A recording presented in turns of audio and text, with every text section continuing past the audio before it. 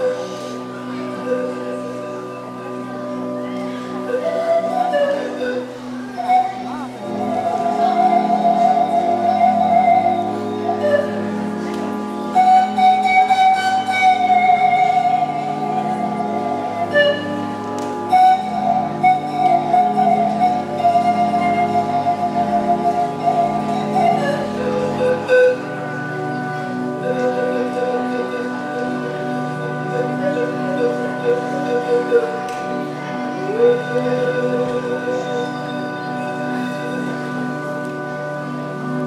you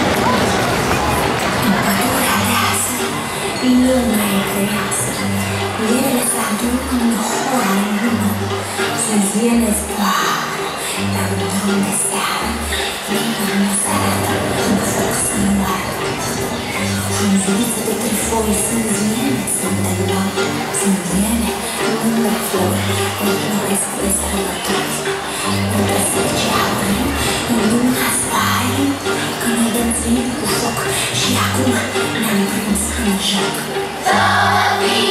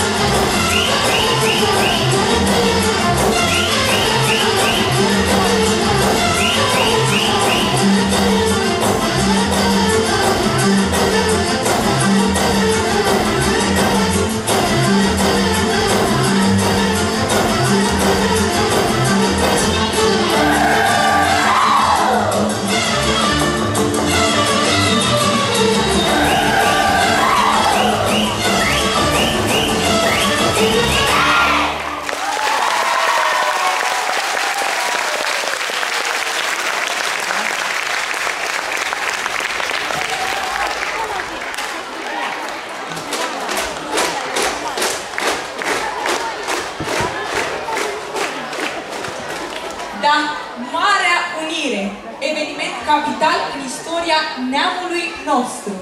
În 1906, la o amplă festivitate la București, s-a clamat că adevărata sărbătoare nu poate fi decât unirea tuturor românilor. În 1911, la Blaj, 30.000 de participanți, sărbătorind 30 de ani de la constituirea societății Astra, au pledat pentru Marea Unire. Pretutinde, cântece, versuri infocate despre Marea Unire. Treceți, batalioane Carpații, la arme cu frunze și flori. Ne așteaptă izbânda, ne așteaptă și frații, Ardealul, Crișana, Banatul ne cheamă, nădejdea e numai la noi. 1 decembrie 1918, la Alba Iulia, 150.000 de participanți se, confes, se consfințește dorința unimană. Unirea pământurilor românești sub o singură patrie. Deșteaptă-te, române, pe al nostru steag. Ardealul ne cheamă. Hai să dăm mână cu mână frați români din lumea largă. Fii mândru că ești român. Mare emoție. Marea adunare națională de la Alba Iulie. Toată suflarea în așteptarea rezoluției Unirii. În sala cazinei, 1228 de invitați au votat în unanimitate fix la ora 12. Iar pe câmpul lui Horea, pe câmpul lui Horea, 150.000 de suflete. Aclamații de bucurie, om lângă om, cum scrie presa vremii, ca o mare înainte de furtună. Oameni în straie de sărbătoare, veniți din toate colțurile țării, pe jos, cu cai, cu căruță. Inima mea, România!